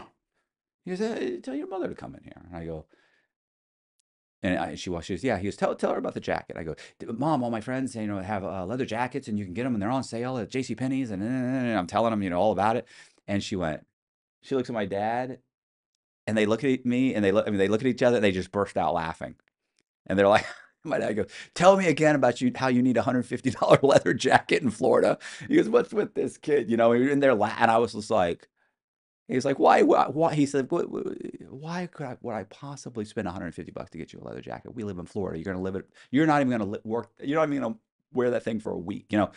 And, and, you know, things like that would happen. And I would think, you know, you know, obviously you're, you're, I'm embarrassed and I feel silly. And, but there were times that I would go and I would ask him for stuff. And it wasn't always like that. It would be more like, eh, you don't really sell that. You know, what's the benefit for me to get you that? Well, uh, and then I'd try and explain and it would be no good. Like I don't have anything prepared. So then I started realizing I have to have stuff prepared. Hmm. I have to have this argument made multiple times. Listen, my wife has even said before, she's like, it's useless arguing with you. By the time we ha- have the talk, you've already discussed it by, you you've already had it internally. She's like 50 times. Because I do, I already have all, all my rebuttals already. Boom, boom, boom, boom. You're going to say this. I, oh, yeah, yeah, yeah. That's funny. Because that doesn't make sense because I just, back and forth, back, and she's done. It's over. Stop. You're not going to win this argument. Um, and that was how it is. So I would go in and I would, my, my siblings wanted a pool. We want a pool. So I go in. My dad's not playing golf. He hadn't played golf in like two years. I heard my parents discussing it. And so I go in and I explain why we should get a pool. I'm like 12 years old explaining that it will increase the value of the house.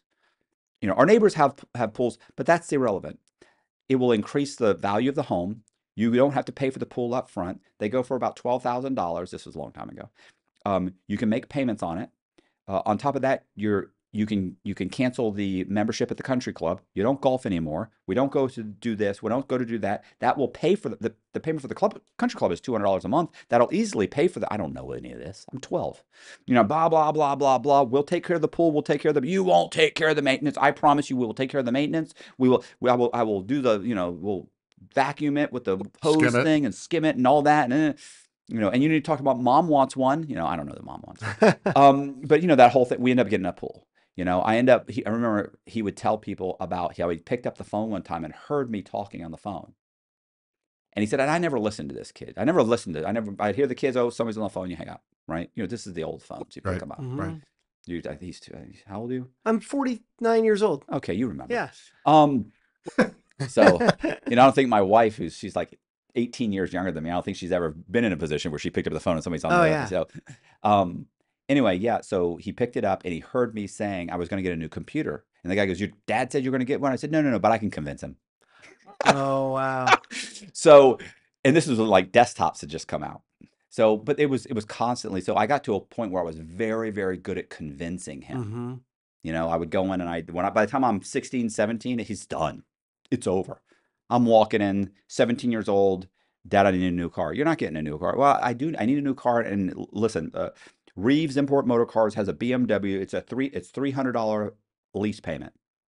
Now, if you take what you purchased my car, if you take the and I start going through, we just replaced the tires, we replaced the this, we replaced this, and you divide it by you know by the last you know 12 months plus the decrease in the insurance for getting a four door lease on a BMW, brand new BMW that has a bumper to bumper warranty for three years, the same length of time that we'll have the vehicle, you're actually saving $45 uh, a, a month.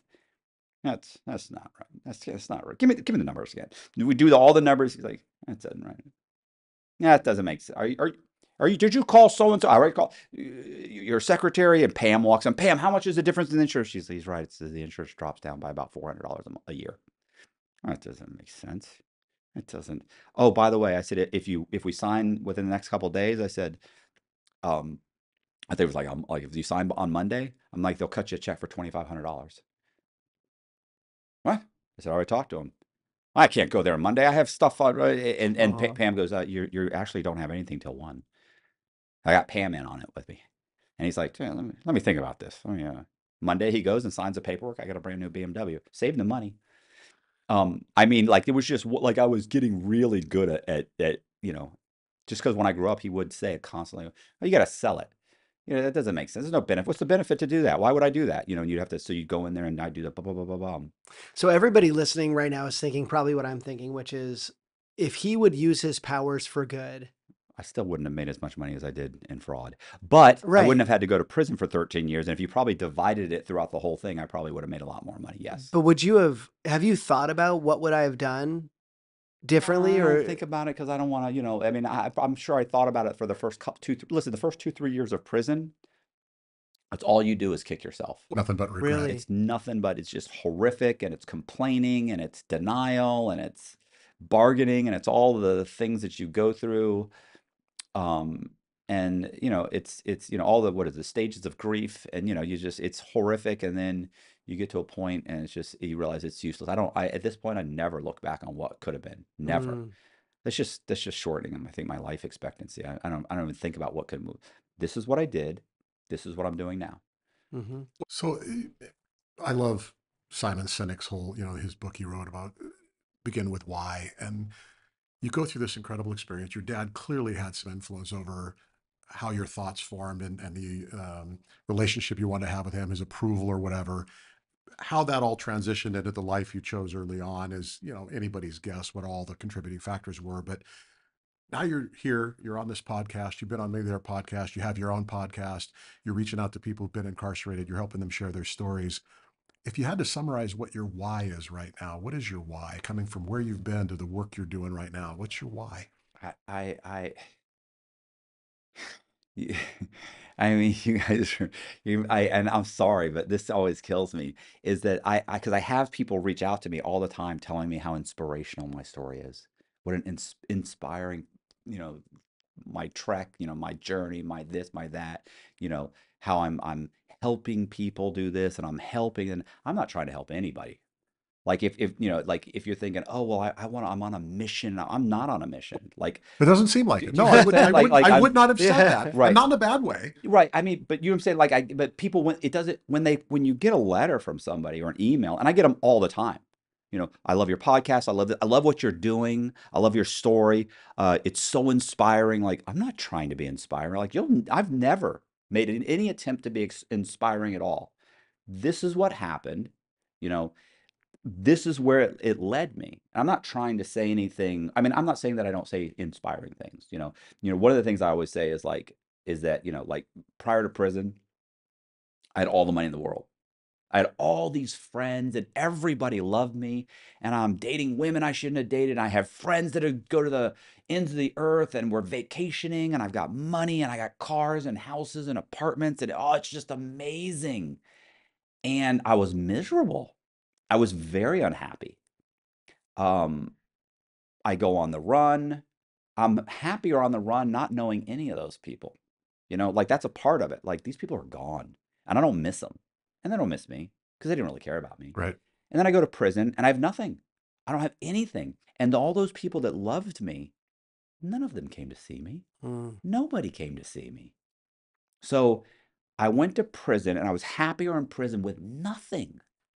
I was happier getting out of prison with nothing. I thought it was a joke to start. I wanted to work at McDonald's. I made a couple phone calls. I figured, listen, take the easy route first. Call a couple buddies, let them say no. The first guy said, no, absolutely, come work for me. Yeah. And I was like, I'm, I was almost disappointed. I wanted to be able to turn my life around. And when I heard somebody complain, I wanted to be able to say, five years ago, I was working at McDonald's. I got out, I was in the halfway house working with McDonald's that had nothing. So you know what? Sorry about your luck that you're, you know, that you're, I would say this because this is something I have it, um, that your, uh, your, um, your Hummer needs a new transmission, you know? God forbid, it's eighteen hundred dollars. Oh, that's horrible. You have to put it on your credit card. That's so so sad, you know. Because I remember I was in prison and my I called, told my ex wife and she was complaining to me that her husband's their the the um warranty had gone out and like a month later his transmission in his Hummer went out and it's eighteen hundred dollars. And I thought, like that's not a problem. Yeah. That's not an issue. Yeah. I have a counselor right now that is going around checking everybody's locker, and you're only allowed to have three shelves in your locker. If you have four, he's taking the other shelf out and he's writing you a- an incident report. You lose your room and you lose three months of of, commissary.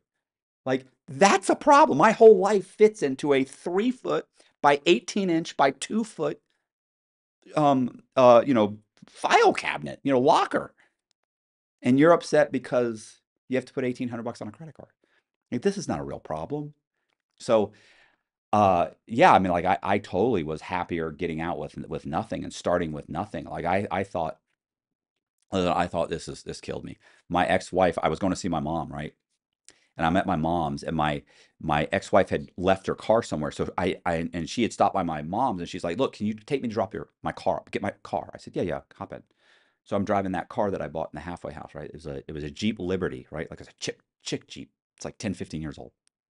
It's falling apart. And we're driving and she goes, she starts she's like playing with the the AC, right? To turn up the AC. And she's like, "What?" And it's blowing. She's like, "It's not getting cold." And I go, "Oh," I said, "You're hot." And she, she goes, "Yeah." And I I hit the things and I roll the windows down. And she goes, "What? Your AC doesn't work?" I said, "No, no, that's for rich people. That's for rich people." Keep in mind, she last time we hung out, I'm I'm balling, and she goes, she, and you know, she looks at me. She goes, "Oh my god!" She goes, "You have no AC in Florida?" I'm like, "No." I'm like, "Right?" And she go, and she says, "Uh, she goes, can you turn the radio on?" And I go, "Yeah, yeah." And I, and she, she tries to turn it on, and I say, "Oh no, no, hold on!" Bam, bam, and I hit it, and it, the short, it has a short, and, and it, boom, it comes on. Boom. I said, "What do you want to watch?" She goes, "Are you serious?" I said, "I go, pretty cool, right?" I'm like Fonzie. You know, from Happy Days, like you, you, you know, he hit the juice box, and she goes, she looks at me and she goes, "Wow, you have fallen so far." And I was like, "I know, right?" I said, "It's great, it's great," and I didn't choke up at the time because I was laughing so hard about it, and I knew what she was thinking, and she's just like, "Holy shit!" Um, so we're driving down the road, and I remember we stopped at a light. So we're stopped at this light. Um, and uh, there's like a homeless guy there. Um, and I forget, I kind of, I drove off or something. I forget we had seen the home. It wasn't, it wasn't that we had seen the homeless guy. That's not what happened. We had pulled up, but there was nobody there. But we pulled up. And I had a bunch of uh, granola bars. That's right. I think the the bottles of water or something were rolling around in the back. And she goes, "What's with the granola bars?" And I said, "Oh, I said I keep them." I said for like homeless guys and shit. Like if you stop and you see them, I said like they come up the window, then I give them like a granola bar and a bottle of water. And she goes, "Why?" And I went, "Because I'm two financial decisions away from being that fucking guy right now." I said, "And I'm not going to give him money. Fuck him for money." I said, "I'm not giving him any money." I said, "But I said that that'll keep you alive another day." something really beautifully and, and uh, powerfully significant and, and the way you communicate about the people whose lives touched yours along the way. Going, choosing to go have lunch with a guy sitting at a table by himself and having that later come back to you in the future. And it actually brings you to emotion. Talking about right now, keeping granola bars in your car, which my mom used to do, granola bars in a bottle of water. She'd drive around and if she came across somebody, she would, she would give them a granola bar. And that perspective. So I, I get that you're not trying to uh, inspire anyone or reform anybody, but, but there still is this powerful connection with the humanity of others that that brings you to emotion when you get to when you connect with it that's That's very seldom. It's only a few things. I mean, I know what you're saying, but remember when we talked, I said there's only a few things Yeah. that listen, I'll tell you this. When COVID hit, and remember I, I had mentioned uh Blumhouse, the deal with Blumhouse. So we had one of those meetings. My sister Helen calls me up and she said, Matt, I gotta tell you something. And I said, Yeah, what's up? And she said, Katie, Katie's my other sister. She said, uh, you know, COVID had just come, it had only been around a couple weeks. So we don't really know what's happening yet. Mhm. Nobody's, they haven't shut anything down yet, but you're hearing about it. I knew my sister had been sick, but she didn't want to keep, she went to the hospital. She, they wanted to keep her in the hospital. She didn't want to stay in the hospital. Um, so she had pneumonia, didn't know what it was. It was COVID. She went home. She died. Oh my gosh. And so my sister says, Katie died. And I went, she goes, we think it's COVID. And I was like, okay. And she said, I'm sorry, but I, I wanted to tell you, and we all need to get together and go tell mom. My mom's in a, in a, in a nursing home. I said, okay, well, let me know when, and I'll be there. And she goes, okay. And so I hang up the phone. Five minutes later, I'm on the phone with with Blumhouse. I have a 30, 45 minute meeting. I never shed a tear. Nothing. You know, when my ex-wife sent me at I was in prison, sent me an email, said, call me immediately. So I called her. Hey, what's up? She said, Oh God, Matt, I'm so sorry. She starts crying. I knew my dad had been sick. They they, you know, I knew he had had lung cancer. First of all, he smoked since he was 13, but you know, I knew he they had found some spots and it had been a few months and they were going to do this and going to do that and this and that. And uh and I and I knew he was hospice. They were calling in hospice. And so she's and they had called him in for like a day or two earlier. And she's crying and I said, "My dad died, didn't he?" Did and she goes she said, "Oh God, man, I'm so sorry." And she starts crying. And I said, um, it's okay. He lived a long life. He had a good life. You know, I said, um, you know, I'm I'm sure if he if you were to ask him, this is exactly how he would have wanted to go out, surrounded by his friends and family, pumped full of morphine. Um, uh, you know, and and you know, and she starts crying even harder. She's like, I called up to console you, and she starts crying even harder. And I just kind of was like, it's okay, it's okay. I never cried, you know. So, but there are some things like the thing where these guys are sending me money from prison. Yeah. It gets me all fucked up. Yeah. So there's little things that really just tear me apart, and other things that I'm just I don't feel anything, you know? Like uh, like the um the people will say, you know, "Oh, what about your victims?" I feel nothing. I'm supposed to have this horrific internal struggle and strife over, you know, these people. And and I have like four victims, you know? Like most of them are are banks. Like I, I oh, over 50 victims, but there's only four individuals. And these are somebody somebody that like I convinced you and really didn't even convince you. Uh, I had a real estate agent that said, "Hey, this guy wants to buy your house, sell it for two hundred twenty-five thousand. He'll give you twenty-five grand. You owner finance two hundred thousand." They said yes. We met at a closing. We signed. I joked around with them. Signed. That's it. Made three or four payments, and then one day the Secret Service shows up and says, "This guy took out like five mortgages on your house. He's got like a million dollars on your house, and he's gone with the money." And you turn around, you hire an attorney, and you end up paying ten or twelve thousand dollars. I owe you twelve thousand dollars because it took you twelve thousand dollars to get to get those liens off of your house and get everything situated. And you know, nothing. I understand and I'm sorry and I wish I hadn't done that. And I, I wish things were better. And you know, I'm making payments and but I don't feel anything. I don't feel horrible. I don't cry about it. I don't get upset. I don't get a lump in my throat. I don't get anything. Well, I get the sense from you that that would just be a waste of energy anyway. It's like, what productive good comes from that? Right. But it doesn't do me any good to get upset every time I think about somebody sending me money from prison. You know what I'm saying? Or Yeah, it just, that's just somebody giving a damn about you, and Yeah. and and from Yeah. maybe unusual circumstances. People Yeah. who might otherwise be classified as people who don't give a damn about much, giving a damn about you. That that's meaningful. maybe. But I mean, I, I should, but I mean, I know that I should feel bad about that. Like I should feel horrible. I should feel horrific. Everybody else says I should. Eh, you know? So, We've gone a few hours now. oh, I'm sorry. No, no, it's perfect. Uh, you haven't mentioned your son. Yeah, because I always get upset when I think about my son, you know? You avoid. We're not in therapy right now, but I'm like, you don't like thinking about some of these things, but that's the. Yeah, because I mean, yeah, just in in general, I don't, you know, I don't like thinking about my son because, you know, my son doesn't talk to me, doesn't want to talk to me. Mhm. And unfortunately, you know, he has a good reason to not want to talk to me.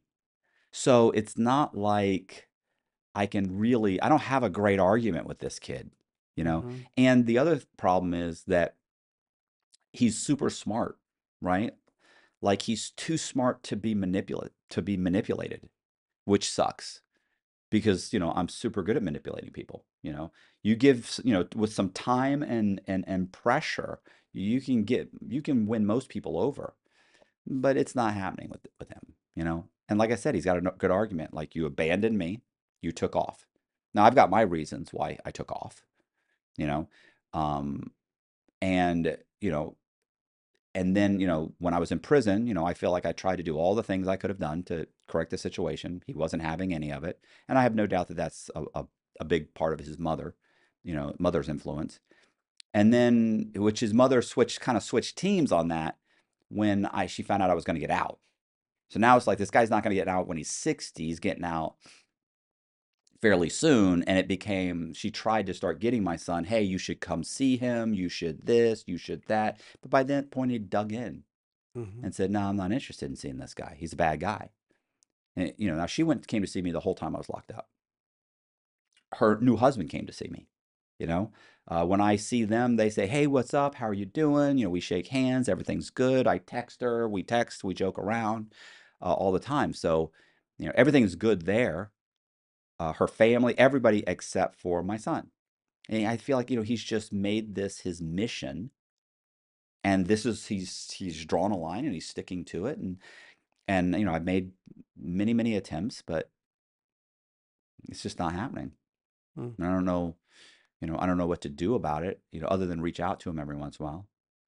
And you know he, I reach out and I say, hey, how's it going? Uh, would you consider maybe us having maybe let me take you to dinner next week sometime and he says listen to you piece of garbage don't text me anymore i don't know why you keep texting me i told you it's never going to happen when are you going to get this through your head and then i text back and i say I, I love these little chats that we have you know? Um and you know he's a ha ha ha.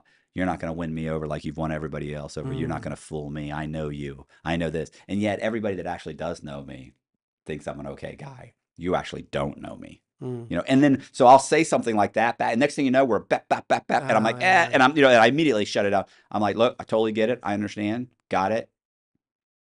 I'll reach out to you again. He's like if you want to waste your time you know what i'm saying? I mean he's Mhm. just a little snide comments and it's just not happening and you know i'll keep reaching out periodically How old is he? right now he's like 23 Wow. so it's not it's not getting better Uh, yeah, maybe. we'll see Yeah, Yeah. exactly. It was, I think it was on the Lex Fridman podcast. It was the very end when he said, "Do you regret all the things that you've done?" And your son was one of the oh yeah was the the guy that came up when you said, "Yeah, that's that's the big one." Yeah, well, I mean, y- yeah, it's you always talk to these guys, and they're all, you know, I, I I talk to them. Of course, the guys I talk to want to want to pretend they're super tough.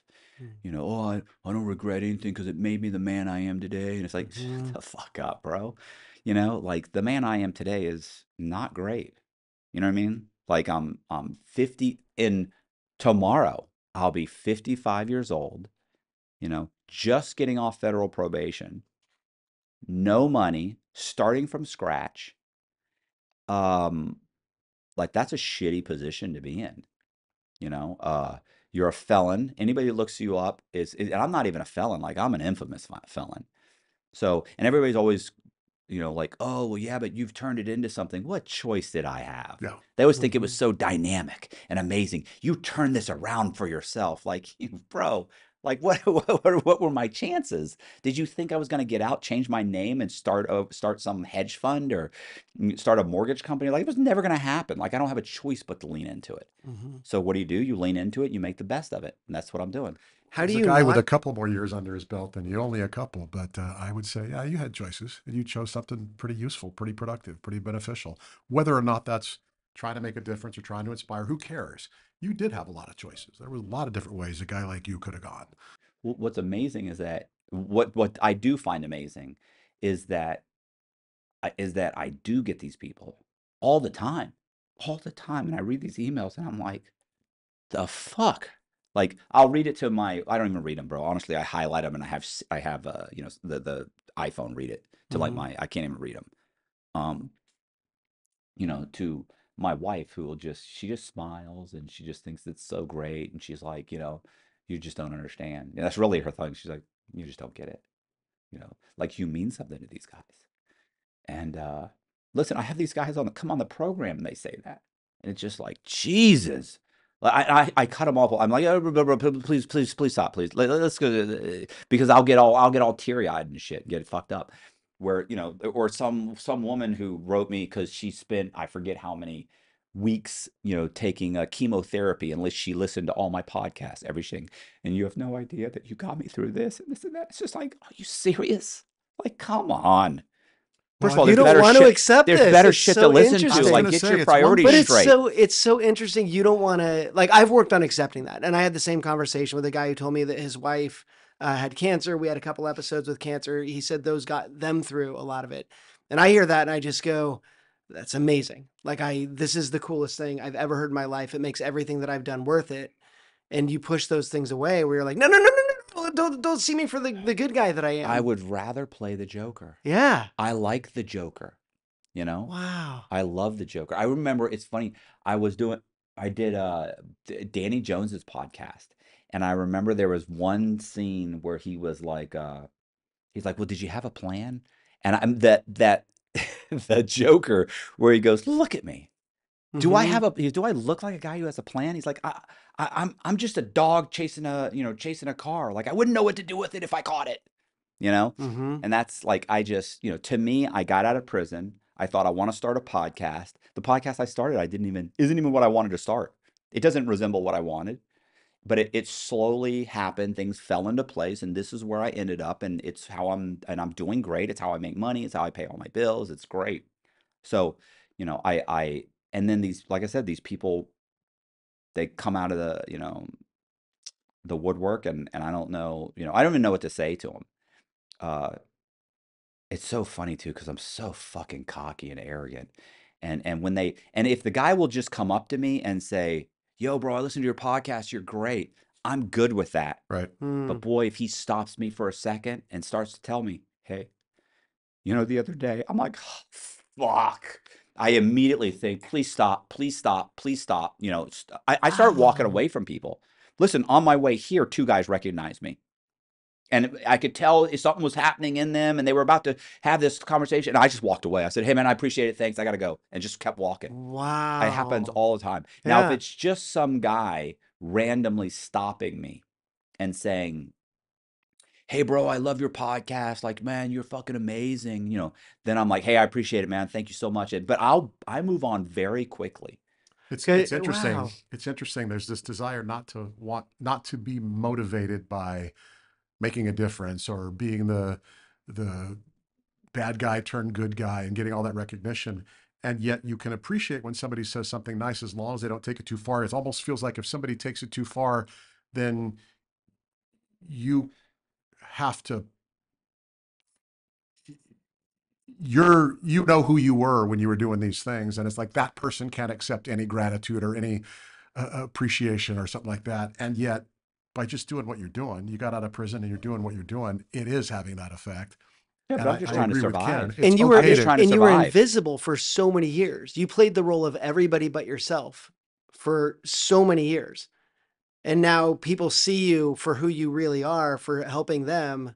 I'm sick of me. Um, And honestly, there are people in this room right now, if they'd gotten caught for some of the stuff they did when they were kids, who knows where their life ends up. And you're looking at one of them. Yeah. Uh, I just didn't get caught. And somehow in not getting caught, I managed to figure out, I don't, that's not who I want to be. And I, and I choose a different direction. But had I gotten caught, my life takes on a Yeah. whole different defining path. oh, listen, I, I, it's so funny because guys will reach out to me all the time, or buddies will reach out and be like, "Hey, bro, you know, listen," and they'll, you know, where it's they're they're gonna ask me to do something. Could you help me out with? No, no, no. I'm just saying, I don't give a fuck, bro. Like, if you think you, if you think that I'm going to risk what I've got, you know, I can't get in front of the judge again. That dude Mhm. will put me in prison for the rest of my life, and I'll have it coming. Like absolutely, no, no, no. If you've just held, if you just explained to me, I'm not telling you anything. Mhm. I'm not having this conversation. I'm not giving you anything at all. You know, like I like y- y- you are you broke? You need money? Like ask me for money, but don't ask me to act, try. and No, no. But if you just help me, that I don't give a shit. I'm not doing that. Not helping you do that. And I send money to guys in, in prison. I have guys that write me, ask me to send them books. I send, uh, listen, at least once a month, maybe every two months, I send out three or four books. I mean, easily send out a book a month on average. As long as they don't write a letter telling you how much you mean to them. Yeah, that's That's one of the criteria. Yeah. Well, well. One, well, I was gonna say one of the guys is actually one of the guys that mailed me, like he mailed me a check, and Oh, he's yeah. like, he's like, bro, just tell me how much it is, and I'll, I'll, I'll print. I'm like, bro, I, I, the way I see it, I owe you fucking six hundred dollars or eight. It's that's the guy eight hundred dollars. I owe you like eight hundred bucks. I said, I'm not, and I've, I probably mailed him, God, four or five hundred dollars worth of books in the last few mm. years. But like, I don't know, you know, nah. Uh, I always characterize people ask me, you know, we talked about my podcast episode and if I could characterize my story in one phrase, it would be I just figured out how to get back up. That's all. I, that, I'm not very smart. I'm not the smartest guy in the room.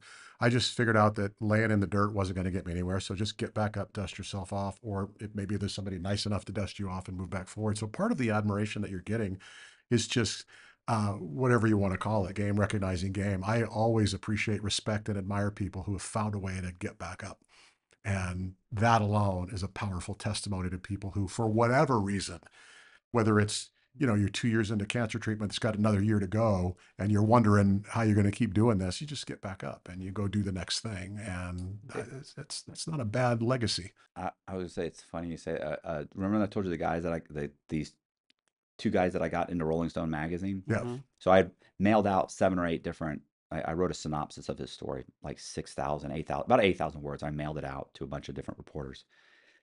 A few of them came back, said, I'd love to do it, but can't do it for like a year. I'm busy. Okay. One guy came back, said, Hey, I can get on it right away. Talked to him. He wanted to send it to a, a online magazine called uh, Epic Magazine. Well, I can get it in Epic Magazine right away. Maybe we could option it. And I went, uh, I want it in line with Rolling Stone. Like I sent it to you because you write for Rolling Stone.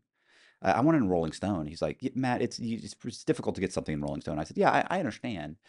And I said, but I mean, like I can't hold the magazine that's that internet magazine. I said it's, it's like a I said I can't hold a blog, and I didn't know what a blog was. Like Oh, I mean, it- he's like, it's not a blog, it's a magazine. I go, can I hold it? And he goes, no. I go, and I'm talking on the phone and the payphone. And I go, can I hold it? Can you send it in to me? He's like, I could print a copy off. And I go, no, no, no, it's a blog then. I said, listen, I want it in Rolling Stone magazine.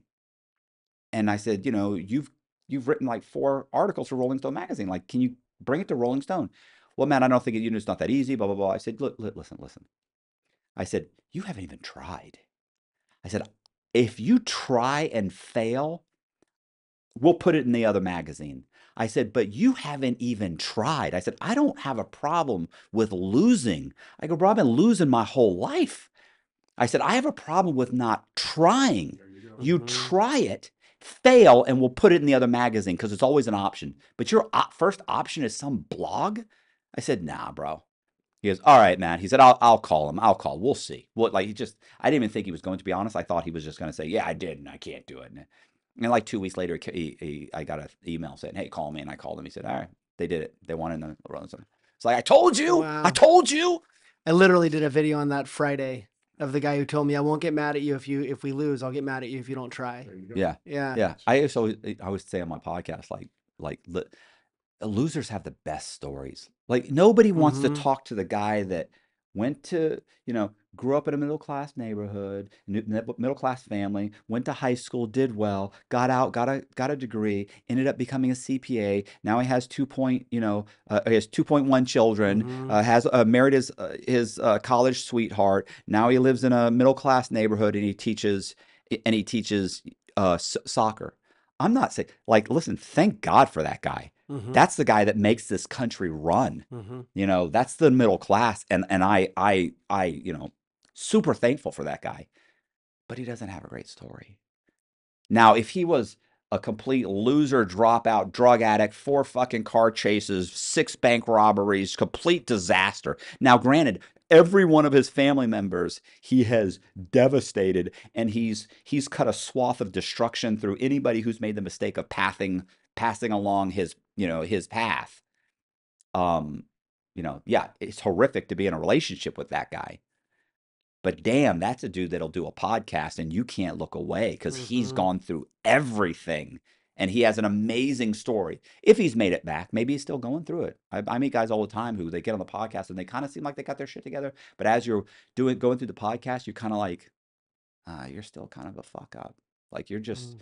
you know, you're you're you're barely hanging on. Like you seem like you're okay now, but it's just because you've been working as a plumber for six months. I don't know, bro. You seem like you're on the edge. Well, there is no doubt this conversation has gone on for a long time, Oh. and I'm not bored. I don't think you're No, not one bit. Nope. However, in the interest of landing the plane and moving us forward, I'm going to ask you a question. Then Kim will wrap us up with a final question. My question's simple. People want to get a hold of you. How do they get a hold of you? What's the best way to get a hold of you? Oh, I mean, I I have uh, I mean, I'm on uh, Instagram and uh, you know, Instagram, YouTube. uh, I don't answer TikTok. I don't run that account. But anyway, basically Instagram and YouTube. All the socials. or most of yeah, the and in the Yeah. you know my my email is not hard to find. It's in the description box, and it, it's basically inside true crime at gmail.com. And Inside True Crime is the podcast. Yeah, it's Matt Cox in, or Matthew Cox inside true crime. Like if you can't, it's no. I don't. If anybody sh- can't get a hold of me, like they're not trying. Right. Yeah, yeah. Oh, if I type in M A T, it's like Matthew Cox. I'm like, yeah. there if ever is. there was a rhetorical version of that question, Right, it's with you as a guest, but it's kind of our tradition. So we always ask it, give you a chance. If there were Uh-huh. some other vehicle that you use that you're trying to promote, we give you a chance to promote it. But uh, yeah, My final question for you that we ask every guest: If you were to go back to 13-year-old Matthew Cox, he's out there hanging out on the sidewalk, and you run into him, and you get to tell him one thing, give him one piece of advice. What would it be? Um, man, I don't think I could. I don't know. I I'd hate to say uh, don't get in the mortgage industry, but the truth is, it would have just been in, if it had been the insurance or banking or stocks or something, it may have been the exact same situation. I don't know. I think it, it you know, it's it's. I think it's getting your priorities straight. Like you know, like nobody. You've heard this. Nobody's nobody's on their deathbed and said, you know, I wish I spent more time at the office. I Mhm. wish I'd made more money. I wish I'd, you Mhm. know, none of that ever happens. I wish I'd made enough money to buy a Lamborghini. I wish, you know, nobody says that. It's, you know, it's always like, you know, spend more time with your family, you know, get your priorities straight. You know, those would be great things to, to do, you know, to end up basically end up being that middle class guy with the two kids teaching soccer. Mhm. Like, wouldn't that be cool? Yeah. Well, Well, man, thank you so much. You flew all the way out here from Florida just to be on the podcast and be in our CE this year. So we just appreciate you sharing your story. much gratitude. Much Yeah. gratitude. Really appreciate it. Thanks for having me. Yep.